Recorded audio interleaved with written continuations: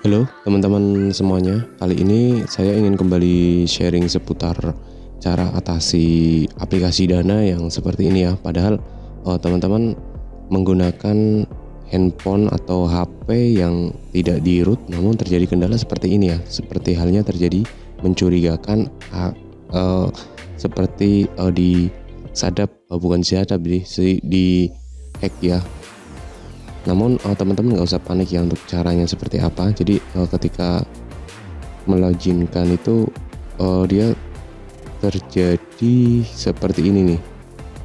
Nah ya sudah sebenarnya sudah masuk di tampilan awal tadi namun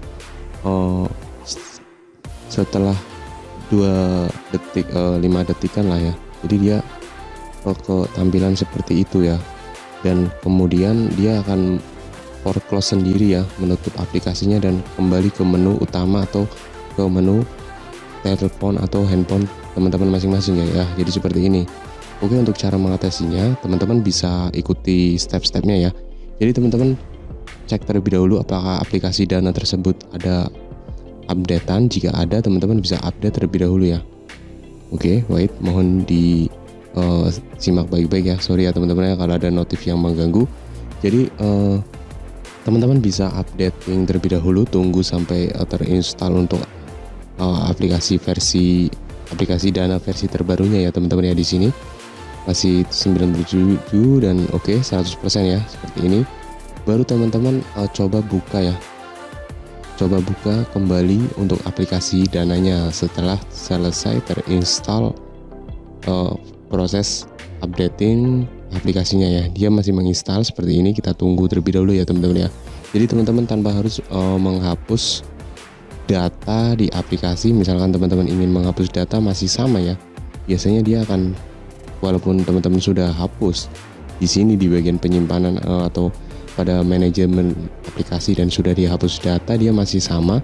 Teman-teman cek pada bagian Play Store buka uh, ketikan saja dana seperti ini dan jika ada updating up, ada keterangan update teman-teman di update terlebih dahulu ya teman-teman ya. Sorry ya kalau gua uh, berulang-ulang kali menjelaskan supaya teman-teman paham. Dan jika sudah install seperti ini kita tunggu saja sampai dengan selesai. Kemudian teman-teman buka kembali aplikasinya. Dan sebelum teman-teman buka kembali pastikan teman-teman sudah di close terlebih dahulu ya untuk aplikasinya. Oke jadi seperti yang gue lihatkan tadi dihapus terlebih dahulu untuk tampilan aplikasi dananya ya. Dan kita tunggu sampai dengan uh, proses instalasi dompet dana ini atau aplikasi dana ini selesai ya.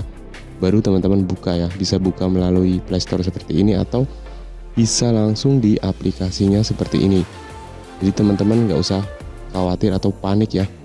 Selagi teman-teman uh, menggunakan data dan tidak mengklik link-link yang berbahaya pasti aman ya. Artinya uh, bisa langsung teratasi ya seperti itu teman-teman ya. Oke kita tunggu sebentar ya teman-teman ya. Di sini masih proses. Oke sudah aman ya teman-teman ya. Jadi karena ada uh, pengupdatean aplikasi seperti itu ya teman-teman ya. Di sini sudah aman ya. Seperti itu. Oke jika muncul seperti ini lagi kita bisa uh, hapus data ya. Seperti itu teman-teman ya. Oke video dari saya seperti itu aja. Semoga bisa membantu ke teman-teman semuanya. Dihapus data di bagian dat ini ya teman-teman oke kita lanjut lagi sorry. Supaya lebih real ya. Kita uninstall lebih terlebih dahulu ya teman-teman ya. Dan kita bisa install kembali aplikasi dananya seperti itu. Baru teman-teman login dan diusahakan uh, langsung dengan kata sandi teman-teman uh, pin ya. Sorry pinnya diusahakan ingat dan pasti langsung masuk tanpa terjadi kendala seperti tadi ya hal-hal yang mencurigakan seperti itu teman-teman ya. Video dari saya seperti itu aja. Kurang lebihnya saya mohon maaf. Apabila ada pertanyaan bisa ditanyakan langsung di dalam kolom komentar. Thank you guys